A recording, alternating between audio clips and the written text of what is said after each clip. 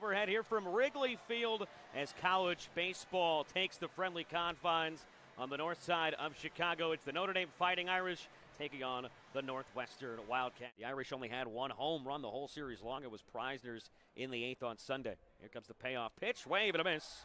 It's the first punch shot of the night for Matt McClure. Here comes the payoff from the junior. Swing and a miss, strike three. Easy work in the first inning for Matt McClure.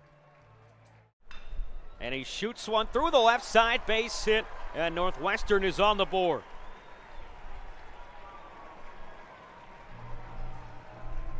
Finally getting that first hit with a man in scoring position, and it comes from the nine spot. The guy that proves 250. Shoots one up the right field line, base hit. That's going to score at least two. Livermore will stop at third.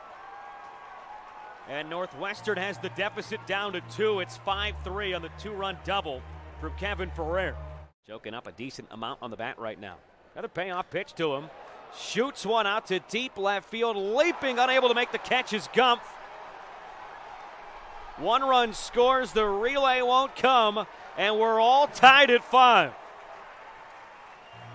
A two run game tying double from Stephen Hrustich. This feels like the time to do it if you're Northwestern. One two pitches hit well out to left field, sending Gumpf back to the track to the wall, and we are tied again.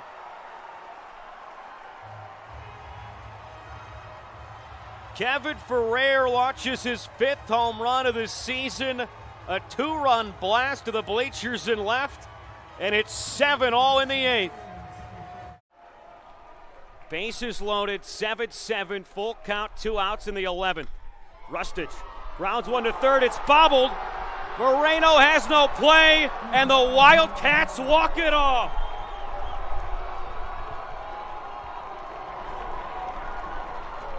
Wrigley Field extra inning magic for Northwestern.